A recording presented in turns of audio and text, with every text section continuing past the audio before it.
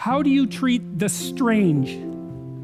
So the strange is strange things and strange ideas and strange people and strangers, right? It's all that. It's, it's that which is not you. It's like the strange lands that God asked Abraham to move out into. How do you interact with the strange? And here, here's one possible rule, because you could say to yourself, well, what, what do I want to make friends with more? Where do I want to be more comfortable? Do I want to be more comfortable with that which I already know? And so that would be the circumscribed territory that you've already mastered. Or do I want to be comfortable with all those things I don't know? And then the right answer is that you should want to be comfortable with all those things that you don't know because there's a bloody lot of things that you don't know.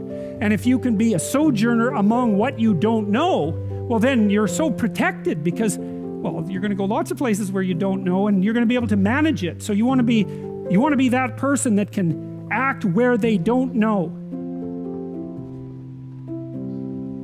So, anyways, Abraham is a master of the stranger. That's one way of thinking about it. He knows what to do when strangers come along and he opens his he opens himself up to them and I would say he does that. We know he's not a naive guy, Abraham, right? He's no weakling. A couple of stories ago, he took a big army and, you know, went and harassed a bunch of kings and took his nephew back. He's, he's a tough guy. And so if strangers show up and he welcomes them, it's not because he couldn't do otherwise. He could certainly do otherwise. And it's not because he isn't aware of what people can be like. He's perfectly aware of what people can be like, but he determines to take a particular attitude towards them, and that is to welcome them. And so, and why would you do that? And I, I think the answer to that is you hold out your hand in trust to someone and you evoke the best from them if that's there to be given. So it's an act of courage. It's like, it's, it isn't me meeting you exactly. Not exactly. It's more like the transcendent part of me making a gesture that allows the transcendent part of you to step forward. And that happens all the time. It happens all the time in, in normative discourse. You know this perfectly well because sometimes you can have a real casual conversation with someone that just goes nowhere, right? It's just shallow as can be.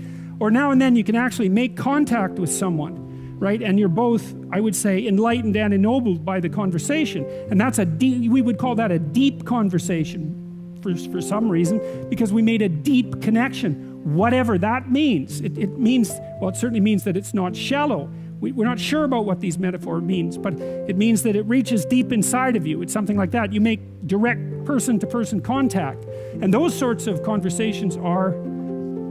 Um, replenishing. That, that's the right way to think about it. They, they genuinely are. And I think that's because they provide you with that bread that's not material bread. And that's the information that you need to, to thrive and, and to put yourself together. And so it does matter how you meet someone, and it does matter how you treat them when you first meet them.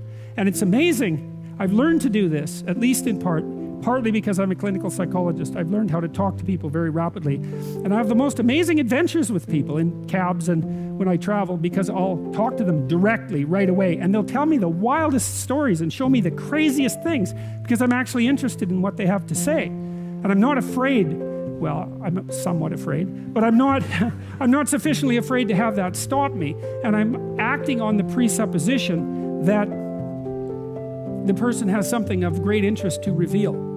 And that, that's a very useful thing to know too, because one of the things that's really cool about people, and you really learn this as a clinical psychologist, is that if you can get people talking, they're so damn interesting you can hardly stand it you know, because they have these idiosyncratic experiences that are only theirs, right? They're only theirs personally. No one else could tell the story, and that's the kind of stories that you want to hear. And when they tell you those stories, you learn something you didn't know.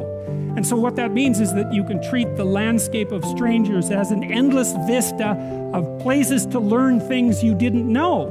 And if you know enough so that you're satisfied with your life and everything has ceased to be a tragedy around you, well, then you can be comfortable in your circumscribed domain of, of totalitarian knowledge, let's say. But if you're if your life is insufficient and you're suffering more than you want to and everything isn't what it should be, then you need to look where you haven't looked for what you don't have. And then you can look outside beyond you and then you can make friends with what you don't understand. And that's a, a huge part of what this story is about.